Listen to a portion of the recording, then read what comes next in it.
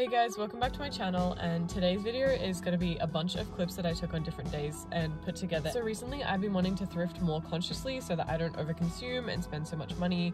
Um, so I have a lot of clips that I've taken from thrift trips where I liked things but I didn't actually end up buying anything. Anyway, I started out at a new Savers that I hadn't been to before and straight off the bat I noticed how expensive everything was at this Savers. Like this denim skirt was $50 and I think it was from Zara. Like are you actually kidding me? I barely found anything that I would genuinely buy in the skirt section and I definitely couldn't afford most of these items anyway.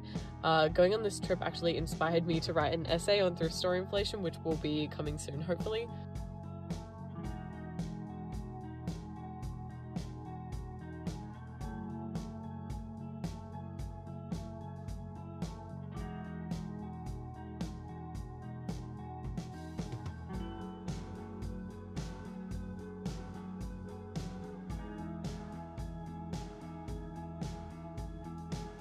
Bag section was okay. I found this velvet bag covered in grommets, but it looked kind of cheap to me.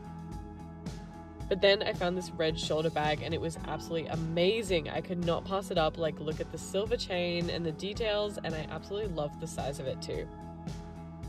This t-shirt was just so trashy. I loved it. Um, it said, look at me, Miss Ohio. She wants to do right, but not right now. This Dance Mom shirt was also iconic, honestly. Uh, as a fan of Dance Moms, the show, I did contemplate getting it just for the irony.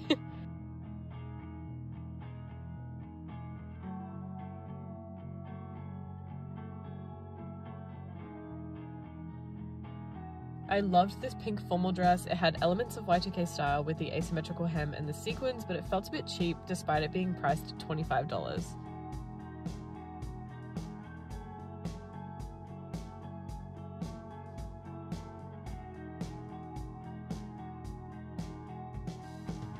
I also tried on this velvet wrap dress and it low-key suited the outfit that I was wearing like on that day, but on its own I wasn't a huge fan and it was also priced at $20. Moving on to the next store slash day. So the first thing that I came across was this book that I've seen all over Instagram. I did debate getting it, but I looked up reviews and apparently actually wasn't very good, so I left that behind. The next thing that I found was perfect for my spare room redo. These lampshades were exactly what I have been looking for, and the one that I got was in such great condition. I didn't really get into the cowboy boot trend, but I know that the coastal cowboy look is now coming back in, but yeah, just not my style. Now these boots are definitely more up my alley. They were more like a 90s Gilmore Girl kind of vibe meets like Victorian style, um, but unfortunately they were a size 6.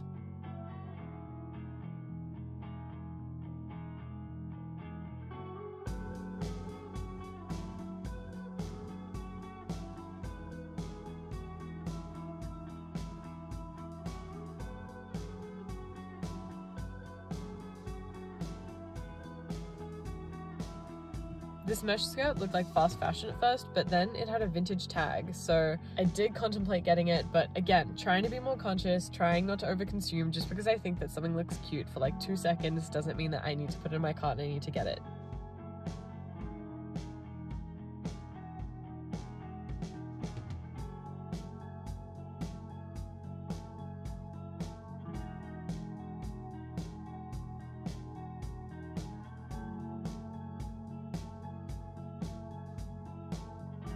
I think if this skirt wasn't neutral, I would have liked it a lot more, but it had such a unique cut that I put it in the cart anyway. But when I tried it on, it just did not work at all.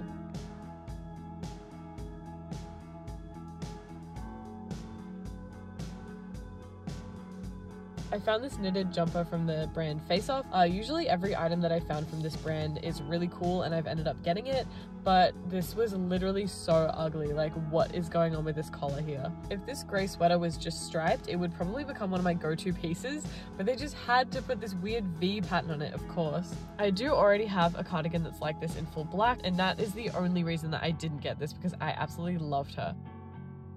Sleepwear section slaying yet again. Look at this super feminine slip dress. Definitely not my style, but I wanted to show her off to you guys anyway.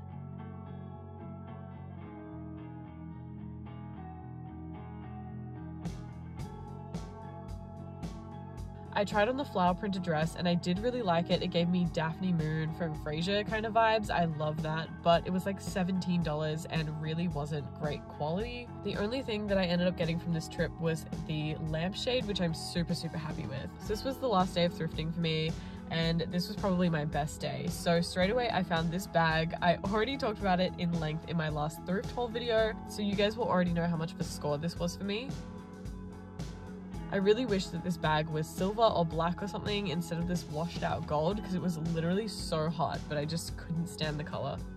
These are some random bags that I thought were cool, but maybe not that cool.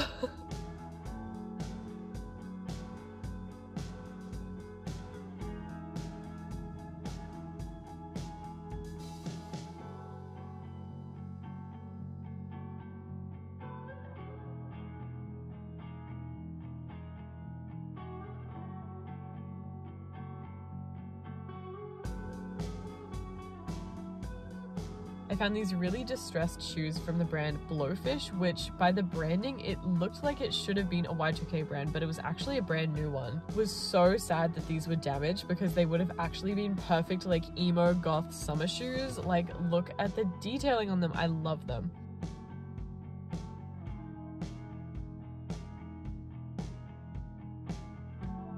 These were very 70s, very cute, but then I saw that they were from ASOS, so never mind.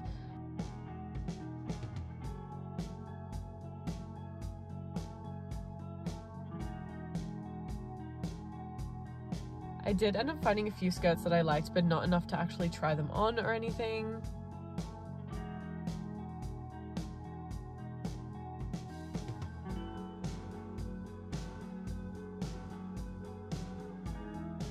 So Bo ended up finding this top from Save the Queen for $4. Oh my god, how sick is it? I love this top and Save the Queen is such a sought after Y2K brand. They are so expensive if you look them up on Depop, so this was an absolute steal.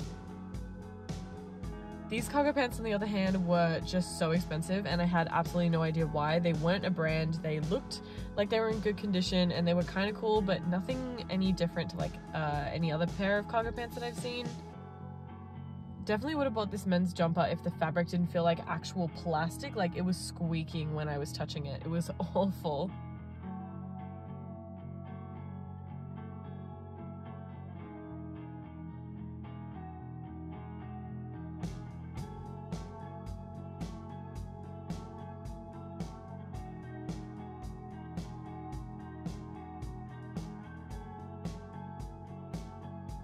And then this was an absolutely 100% real Christian Dior t-shirt as you can see by the really, really great quality.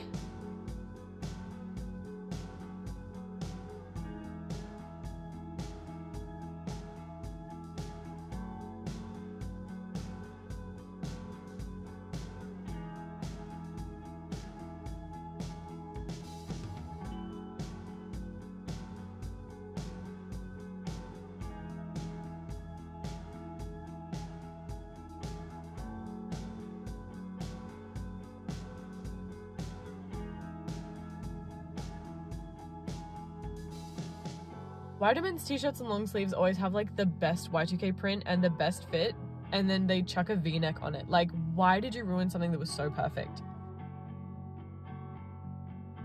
I have no idea how, but these trashy tourist shirts have like made a comeback recently. I love seeing people style them in like a really fun, ironic sort of way. I found these shorts for Bo and uh, unfortunately they were way too big for him, which was very sad because we both loved them so much. It could have been a joint custody piece, but no, way too big. I never wear vests, but I really, really like this one. The leather and the fur and the color made me like nearly buy it, but then I realized the fur was kind of falling off and it was really cheaply made, so that was really disappointing. Okay, so I immediately bought this skirt. Uh, finding this literally altered my brain chemistry. Like, finding this skirt somehow helped me change my style, and I am so happy that I found it. Like, one of my best finds ever.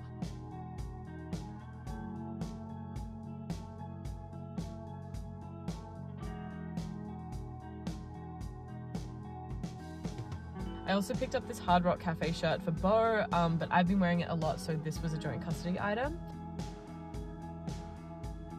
I also found these two books. I got the first one because it looked interesting to read, and then the second one so that I could cut out some of the art and frame it for my wall. I found a lot of perfect items for my new spare room that I'm dying to show you guys, but I won't add those in now, so these were just a few of the rejects for knickknacks that I thought about getting for the room. I did one last round in the store and found this top that I wasn't 100% sure on, but it did fit my aesthetic. Same for this Guess top, I really loved it, but it was super overpriced at $20.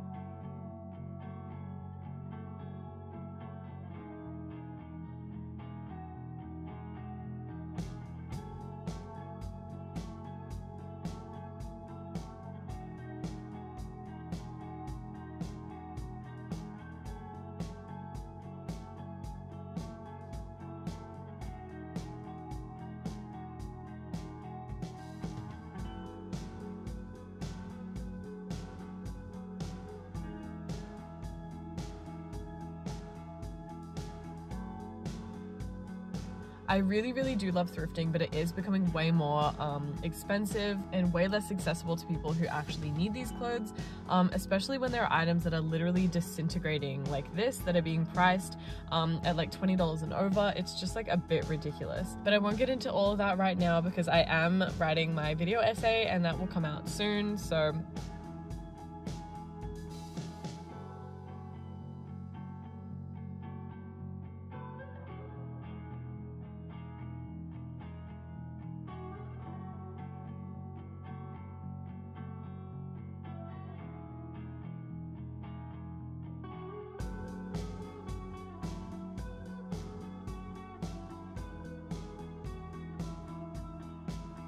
So I did end up getting a few items from all of these uh, thrift trips and you guys will definitely be seeing those in my next thrift haul of the month. Anyway, that is all for this video. Sorry it was a bit all over the place, but thank you all so much for watching and I will see you in the next one. Bye!